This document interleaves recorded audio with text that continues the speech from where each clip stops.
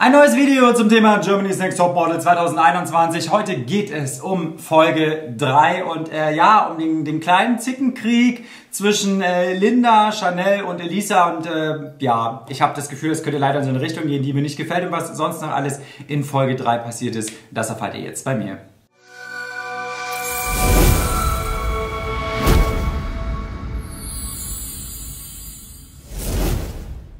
Willkommen zurück. Ich freue mich jetzt schon auf ganz viele Daumen nach oben und abonniert auf jeden Fall den Kanal, denn es wird hier äh, super spannende Updates geben in den nächsten Tagen. Unter anderem auch ein Interview mit einer Germany's Next Topmodel Kandidatin, äh, die heute die Show freiwillig verlassen hat.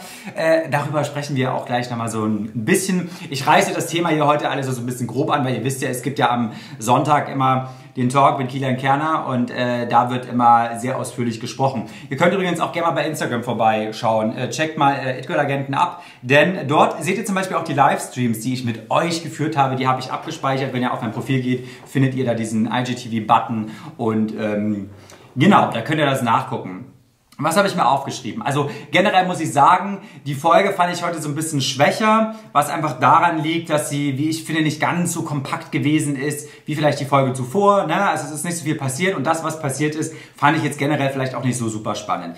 Äh, die Folge fing ja letztendlich damit an, dass es ein Balletttraining gab und ich habe ja auch im Livestream so ein bisschen nachgefragt ähm, bei Leuten, die da schon so ein bisschen Erfahrung gemacht haben und dann haben mir die Leute letztendlich bestätigt, dass Ballett schon super schwierig ist und ich finde, man hat da auch echt super viel von den Models ab verlangt, weil das ist natürlich eine, eine Sache, wo wirklich Leute Monate für brauchen, um äh, das wirklich so auf die Kette zu kriegen, wenn man das mal so sagen darf. Aber ich finde, es haben sich eigentlich alle überraschend gut angestellt und äh, dieses Balletttraining war natürlich wichtig für das Shooting danach. Sprechen wir aber erstmal, was zwischendrin passiert ist. Da gab es quasi einen Beef zwischen Linda, äh, Elisa und Chanel, aber der Witz an der Sache ist, dass Elisa gar nicht in der Situation dabei war, sondern es war einfach ein Gespräch unter den Mädels, was natürlich dadurch entsteht, weil zum allerersten Mal bei Germany's Next Topmodel keine Kameramänner mehr quasi im Loft sind, sondern es ist wie Big Brother gemacht. Ja, die werden 24 äh, Stunden gefilmt. Kann man jetzt gut finden oder nicht. Ne? Für mich wäre es nichts, aber dadurch sieht man natürlich Situationen, die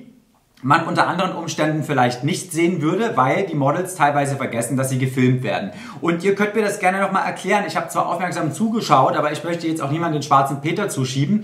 Irgendwie gab es eine Diskussion zum Thema Essen und äh, Elisa wurde dann irgendwie auch abwertend Avocado Toast genannt. Also es war in jedem Fall abwertend gemeint. Und äh, Chanel und Linda haben da eine Seite von sich gezeigt in Form von der Wortwahl, wie sie sich ausgedrückt haben, wo ich ein bisschen enttäuscht war, muss ich ganz ehrlich sagen. Und ich hoffe, dass es in den nächsten Folgen nicht so fortgesetzt wird, weil das hat mir einen kleinen Dämpfer gegeben. Ich muss dazu sagen, ich bin immer von Anfang an großer äh, Fan von Chanel gewesen. Ich bin es auch nach wie vor. Das liegt nicht nur an ihrem Namen, sondern ich finde, dass es auch eine super attraktive Frau ist. Und äh, bei Linda ist es so, die hat man ja heute das allererste Mal so ein bisschen intensiver gesehen. Die fand ich auch immer mega. Also gerade auch in der letzten Folge fand ich die in dem Outfit von Marina Hörmannseder äh, mega gut. Aber da sind natürlich so Facetten ans Tageslicht gekommen, wo ich mir so dachte, so wow, okay, äh, Mädels, es ist nicht schlimm, wenn man mal in einer Gruppe so spricht und vielleicht mal ein bisschen genervt ist und man dann vielleicht auch mal irgendwie Sachen sagt, die vielleicht nicht so cool sind. Und es waren einige Sachen dabei, aber ich hoffe, wie gesagt, dass sich das nicht so fortsetzt, weil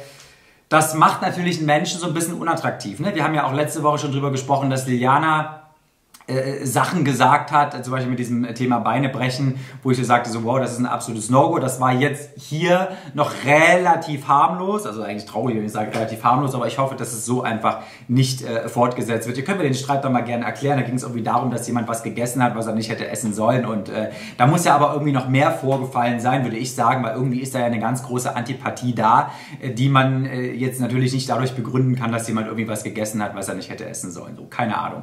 Was habe ich mir noch aufgeschrieben? Aufgeschrieben, genau. Danach ging es zum Shooting und das Shooting war dieses Ballerina-Shooting und da ging es darum, letztendlich, dass zwei immer gegeneinander angetreten sind und das war quasi ein Duell und die Stärkere in der Runde ist dann direkt weitergekommen und musste nicht zur Elimination. Da habe ich mir so gedacht, so ja, auf der einen Seite ist es natürlich gut für äh, diejenigen, die weiter sind, aber es ist ja weniger Screentime, was aber letztendlich widerlegt wurde, weil die Models am Ende dann zugucken durften.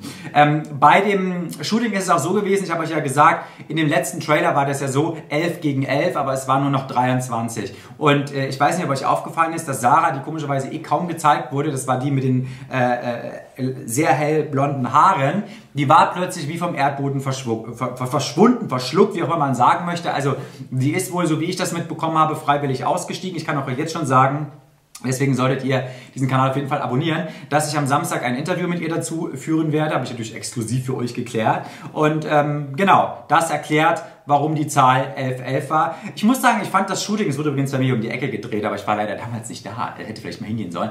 Äh, ich finde, das war überraschend gut. Ich musste auch sagen, dass ich die Fotos vom Ergebnis her mochte. Gut, ich meine, es waren dann Schwarz-Weiß-Fotos, ne? Also das war irgendwie, äh, ich meine, wenn du ein Foto retten willst, machst du schwarz-weiß. Ich will jetzt nicht sagen, dass die Fotos schlecht waren. Um Gottes Willen, sie waren nicht schlecht. Ich, ich mochte sie einfach, obwohl das Ballerina-Thema nicht so mein Lieblingsthema ist.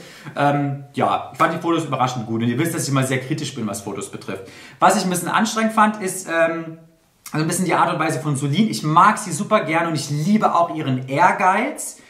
Mir ist das auf Dauer so ein bisschen zu overdramatic. Ich hoffe, dass sich das ein bisschen reduziert, weil ich eigentlich diese Charaktereigenschaft dieses, ich will kämpfen, ich will die Beste sein, ich will mich anstrengen und ich kann jetzt endlich das machen, was ich liebe, gut finde, aber es ist vielleicht manchmal wirklich einfach so ein äh, bisschen äh, too much.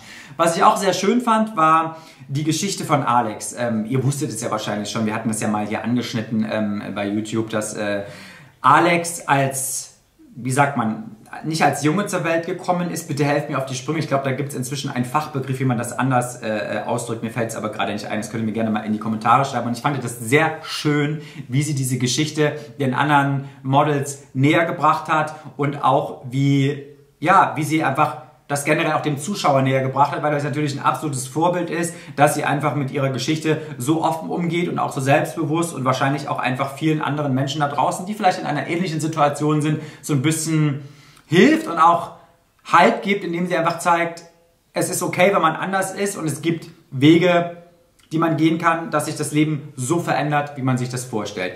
Ich habe schon im Livestream gesagt, mir war das dann teilweise mit der Musik ein bisschen zu overdramatic, was nicht an ihr lag, weil ihre Geschichte an sich war so stark, dass ich mir dann so teilweise dachte, so okay, diese äh, theatralische Musik braucht man jetzt gar nicht so, aber ähm, ja, ich will mich jetzt nicht an Kleinigkeiten aufregen. Dann kam Nikita Thompson zum äh, Training und es ging darum, dass der Entscheidungswalk quasi der schlimmste Albtraum sein sollte. Ne, die mussten quasi so ein bisschen auf dem Laufband laufen, weil sie sollten dann zeigen, dass sie aufwachen, in einem Albtraum äh, gefangen sind und dann davonlaufen und so, ah, oh mein Gott, und was ist passiert? Und dann äh, ist irgendwann irgendwie alles gut. Äh, das Training war aber ganz gut geschnitten, weil es nicht so lang war. Und ich muss sagen, die Bühne am Ende, ja, die Bühne hat mir mega gut gefallen. Ich fand die Idee wirklich cool. Ich finde, es war wirklich sehr gut umgesetzt. Also da muss ich wirklich sagen, so bühnenmäßig wirklich on fleek. Und ich fand auch diese Idee gut. Ich habe ja heute schon auch im äh, Livestream mit Kilian Kerner bei YouTube darüber gesprochen, dass ich es das generell sehr gut finde, dass sie sich wirklich immer was Neues einfallen lassen. Das muss man einfach mal sagen. Insofern,